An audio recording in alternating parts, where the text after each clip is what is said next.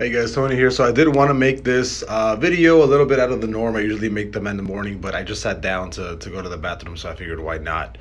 Um, I didn't want to make this video to basically just say rest in peace, rest in peace, crypto, and you know may God have mercy on all of your longs. Because if we look at the total chart, we are entering uh, an extremely huge uh, bearish territory. We are officially we are under that one trillion dollar market cap for the total market cap of crypto for the total market cap of, of crypto with Ethereum leading. Again, we are entering that uh, that bearish week. There's a little green dot. We're going to be closing more than likely tomorrow unless we can see a really huge pump to the upside randomly, right?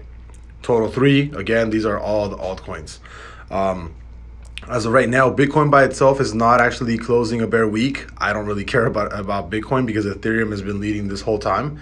And we have that trigger right there. If we manage to close this on Sunday, um, I have, you know, I have no more words. I've been saying this for a while now. I've been talking about the market tanking extremely hard for the last couple of weeks, if not the last maybe month or so. And then even also when I when I was when I was bullish, um, you know, back in late June, I did say that I would only be bullish for the next seven to nine weeks, and we are on the eighth week of Bitcoin and the ninth week of Ethereum. So, um, you know, prophecy came true.